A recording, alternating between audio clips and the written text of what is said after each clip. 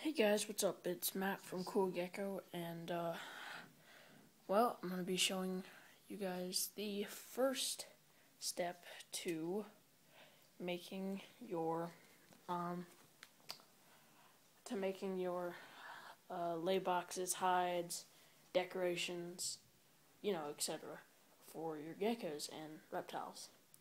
So uh, I have a couple of plans, but this is the one that I'm going to be starting to work on today.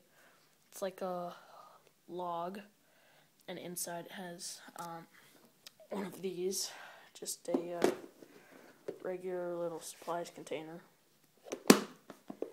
It's going to have a hole cut from those dot, dot to dot, so that they can climb in. Uh, two piece, and yeah.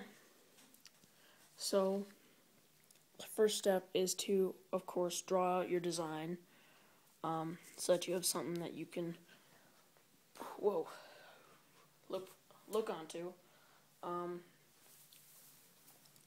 see, I drew it out. I drew out what I wanted the inside of the top to look at, like where I wanted the line where they separate, where the actual those little black lines right there, and there and there show where the actual hole of that is going to be compared to the uh, that hole and shows how long it's going to be and how tall. It's a good 10 to 12 inches tall. And yeah. So that's the design. Um, so this is step one. I'll get back to you guys in a little bit with step two